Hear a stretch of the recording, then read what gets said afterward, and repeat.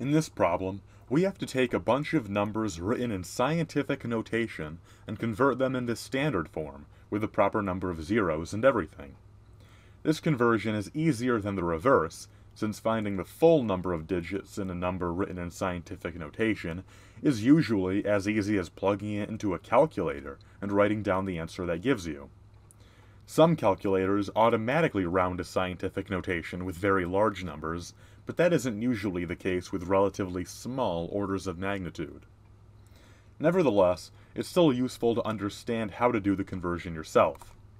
For 8.69 times 10 to the fourth power, this 10 to the fourth power tells us that the 8.69 number is much bigger.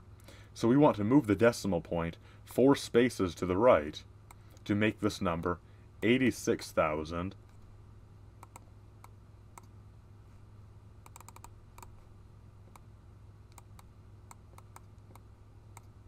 nine hundred.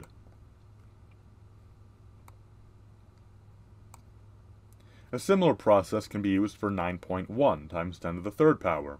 We move the decimal three spaces to the right to get 9,100.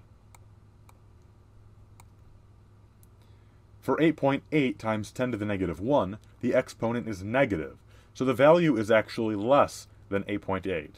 This time, we move the decimal space one place to the left to make it 0.88.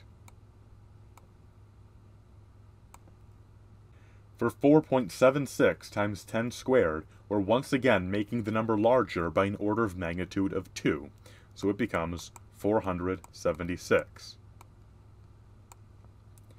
In the case of 3.62 times 10 to the negative fifth power, we're making the number much, much smaller.